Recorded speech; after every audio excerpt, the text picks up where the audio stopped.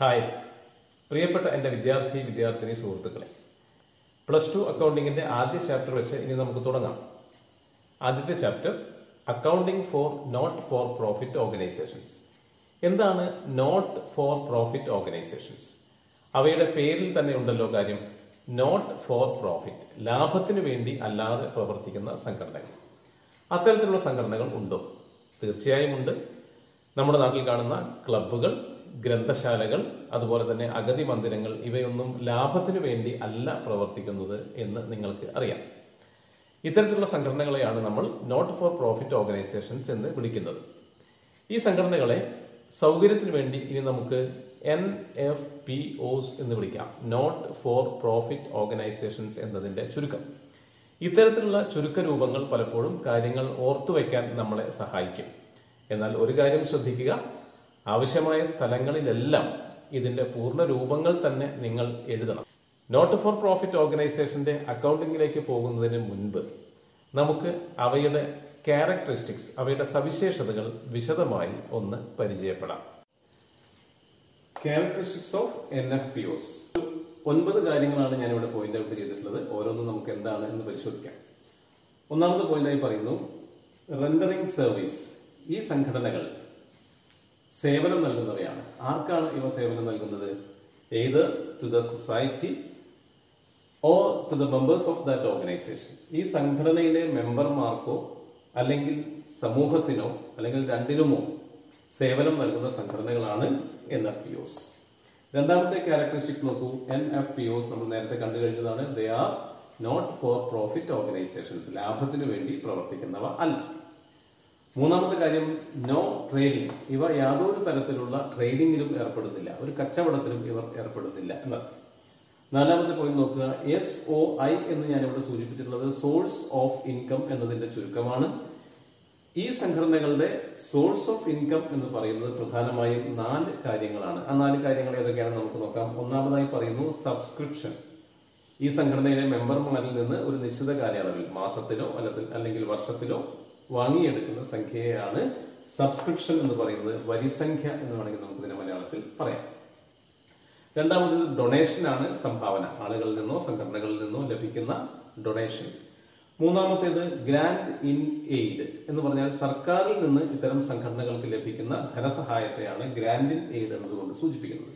Legacy പാരമ്പര്യമായി കിട്ടുന്ന സമ്പത്ത് എന്ന് പറയുമ്പോൾ ഏതെങ്കിലും ആളുകളുടെ വിൽപത്രത്തിലൂടെ ലഭിക്കുന്ന സംഖ്യയാണ് ലെഗസി എന്നതുകൊണ്ട് സൂചിപ്പിക്കുന്നത്.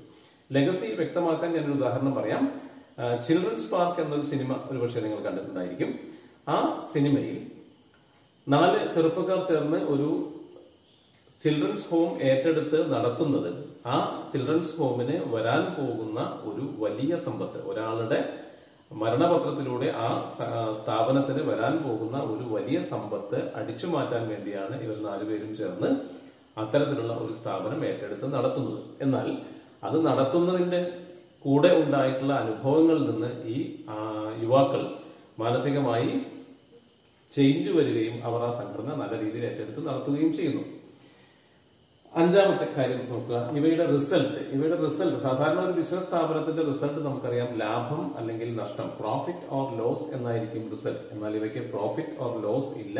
പകരം നമ്മൾ പറയുന്നത് ഇവയുടെ അക്കൗണ്ടിങ്ങിനൊടുവിൽ നമ്മൾ പറയുന്നത് സർപ്ലസ് ആണ് അല്ലെങ്കിൽ ഡെഫിസിറ്റ് ആണ് എന്നാണ്.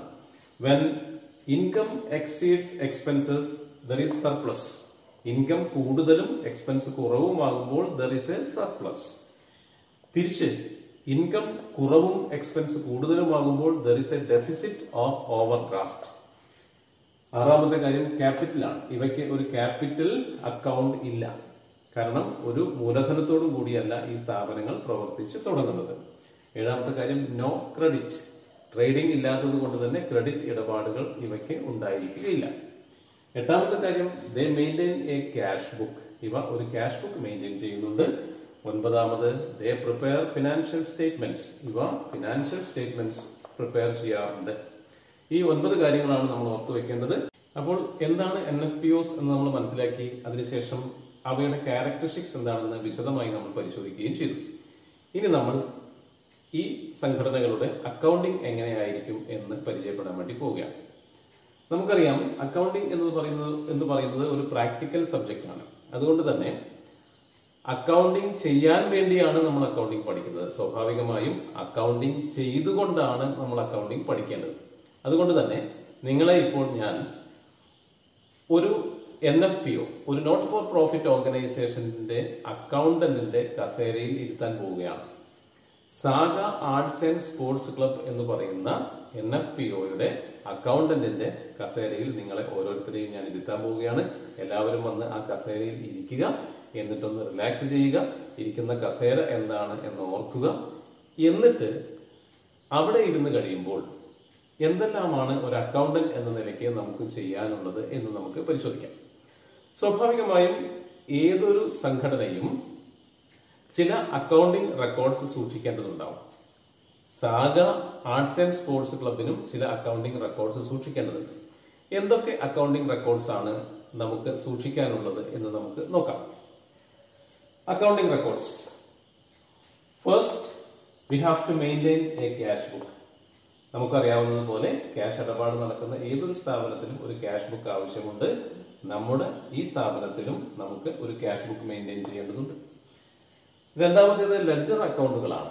എന്തെല്ലാം കാര്യങ്ങൾക്കുള്ള ലെഡ്ജർ അക്കൗണ്ടുകളാണ് വേണ്ടത് എന്ന് നമുക്ക് നോക്കാം. ഇൻകം എന്തെല്ലാം ഇൻകം അവിടെ ഉണ്ടോ? സാഗ ആർട്സ് ആൻഡ് സ്പോർട്സ് ക്ലബിന് എന്തെല്ലാം രീതിയിൽ ഇൻകം ഉണ്ടോ? സബ്സ്ക്രിപ്ഷൻ ആവാം ഡൊണേഷൻ ആവാം. ഈ രീതിയിൽ ഏതെല്ലാം തരത്തിലുള്ള ഇൻകം ഉണ്ടോ? ആ ഓരോന്നിനും സെപ്പറേറ്റ് ലെഡ്ജർ അക്കൗണ്ട് നമ്മൾ സൂക്ഷിക്കണം. അതുപോലെ തന്നെ ഓരോ എക്സ്പെൻസിനും സെപ്പറേറ്റ് ലെഡ്ജർ അക്കൗണ്ട് നമുക്ക് സൂക്ഷിക്കേണ്ടതുണ്ട്. കൂടാതെ അസറ്റ്സിനും ലയബിലിറ്റീസിനും എന്തെല്ലാം അസറ്റ്സ് ഉണ്ടോ അതിനും എന്തെല്ലാം ലയബിലിറ്റീസ് ഉണ്ടോ അതിനും സെപ്പറേറ്റ് ആയിട്ടുള്ള ലെഡ്ജർ അക്കൗണ്ടുകൾ നമ്മൾ സൂക്ഷിക്കേണ്ടതുണ്ട്. ചുരുക്കി പറഞ്ഞാൽ ക്യാഷ് ബുക്ക് സൂക്ഷിക്കണം ലെഡ്ജർ അക്കൗണ്ടുകൾ സൂക്ഷിക്കണം. പിന്നെയുള്ളത് ഒരു സ്റ്റോക്ക് രജിസ്റ്റർ ആണ്. ബിസിനസ് സ്ഥാപനങ്ങൾ സാധാരണയായി സൂക്ഷിക്കാത്ത ഒരു രജിസ്റ്ററാണ് സ്റ്റോക്ക് രജിസ്റ്റർ എല്ലാ അസറ്റിനും എല്ലാ അസറ്റുകളും ഉൾക്കൊള്ളുന്ന ഒരു സ്റ്റോക്ക് രജിസ്റ്റർ നമ്മൾ സൂക്ഷിക്കേണ്ടതുണ്ട്. പിന്നെയുള്ളത് ഒരു ക്യാപിറ്റൽ ഫണ്ട് അക്കൗണ്ട് ആണ്. ഇത്രയും കാര്യങ്ങളാണ്. ഇത്രയും അക്കൗണ്ടിംഗ് റെക്കോർഡുകളാണ് നമുക്ക് സാഗ ആർട്സ് ആൻഡ് സ്പോർട്സ് ക്ലബിന്റെ അക്കൗണ്ടൻസ് എന്ന നിലയിൽ നമുക്ക് സൂക്ഷിക്കാനുള്ളത്. ഇനി ഈ കസേരയിൽ ഇരിക്കുമ്പോൾ നമുക്ക് ചെയ്യാനുള്ളത് ഈ അക്കൗണ്ടിംഗ് പീരീഡ് അവസാനിച്ചാൽ തീർച്ചയായും നമ്മൾ ചില ഫിനാൻഷ്യൽ സ്റ്റേറ്റ്മെന്റ്സ് തയ്യാറാക്കേണ്ടതുണ്ട്. സാധാരണ ബിസിനസ് സ്ഥാപനങ്ങളിലെ ഫൈനൽ അക്കൗണ്ട്സ് എന്തെല്ലാമാണെന്ന് കഴിഞ്ഞ വർഷം നിങ്ങൾ പഠിച്ചിട്ടുണ്ട്. പ്രധാനമായും ഏതെല്ലാമാണ് അവ? Trading and profit and loss account balance sheet ഇവയാണ് നമ്മൾ ബിസിനസ് സ്ഥാപനങ്ങളിൽ തയ്യാറാക്കുന്ന ഫൈനൽ അക്കൗണ്ട്സ് എന്നാൽ ഇവിടെ നമ്മളിപ്പോൾ ഒരു നോട്ട് ഫോർ പ്രോഫിറ്റ് ഓർഗനൈസേഷന്റെ അക്കൗണ്ടന്റ് ആണ്. അതുകൊണ്ട് തന്നെ നമ്മൾ പ്രിപ്പയർ ചെയ്യേണ്ട ഫൈനൽ അക്കൗണ്ട്സ് എന്തെല്ലാം എന്ന് നമുക്ക് നോക്കാം. പ്രധാനമായും മൂന്ന് കാര്യങ്ങളാണ് നമുക്ക് തയ്യാറാക്കാനുള്ളത്. ഒന്നാമത്തേത് റെസിപ്റ്റ്സ് ആൻഡ് പേയ്മെന്റ്സ് അക്കൗണ്ട് പേര് സൂചിപ്പിക്കുന്ന കാര്യം പ്രത്യേകം ശ്രദ്ധിക്കുക. റെസിപ്റ്റ്സ് ആൻഡ് പേയ്മെന്റ്സ് അക്കൗണ്ട് ചുരുക്കി നമുക്ക് അതിനെ ആർ ആൻഡ് പി അക്കൗണ്ട് എന്ന് വിളിക്കാം. രണ്ടാമത്തെ കാര്യം income and expenditure account income expenditure income and expenditure account ചുരുക്കി നമുക്കതിനെ ഐ ആൻഡ് ഇ അക്കൗണ്ട് എന്ന് സൂചിപ്പിക്കാം. മൂന്നാമത്തേത് ബാലൻസ് ഷീറ്റ് ആണ് ബി എസ് എന്ന ചുരുക്കാക്ഷരങ്ങൾ കൊണ്ട് നമുക്കതിനെ സൂചിപ്പിക്കാം. അപ്പോൾ ഇന്ന് നമ്മൾ എന്തെല്ലാം കാര്യങ്ങളാണ് പഠിച്ചത് എന്ന് നമുക്ക് ഒന്നുകൂടി ഓർത്തു നോക്കാം. ഒരു നോട്ട് ഫോർ പ്രോഫിറ്റ് ഓർഗനൈസേഷൻ എന്ന് പറഞ്ഞാൽ എന്താണ് എന്ന് നമ്മൾ ആദ്യം മനസ്സിലാക്കി. അതിന്റെ ക്യാരക്ടറിസ്റ്റിക്സ് എന്തെല്ലാം എന്ന് പഠിച്ചു. ഒൻപത് പോയിന്റ്സ് ആണ് അതിലുണ്ടായിരുന്നത് എന്ന് പ്രത്യേകം ഓർക്കുക.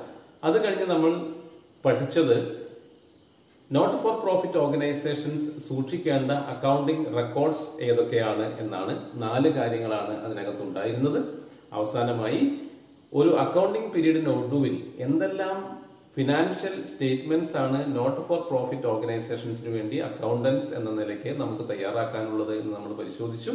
അതിൽ മൂന്ന് കാര്യങ്ങളാണ് ഉണ്ടായിരുന്നത്. ഇത്രയും കാര്യങ്ങൾ ഓർക്കുക. ഫോർ പ്രോഫിറ്റ് ഓർഗനൈസേഷന്റെ അക്കൗണ്ടിങ് പ്രാക്ടിക്കലി ചെയ്തുകൊണ്ട് നമുക്ക് മുന്നോട്ട് പോകാം. ഏതായാലും എല്ലാ കാര്യങ്ങളും നന്നായി മനസ്സിലായിട്ടുണ്ടാവും എന്ന് വിചാരിക്കുന്നു. നമുക്ക് അടുത്ത ക്ലാസ്സിൽ വീണ്ടും കാണാം. ബൈ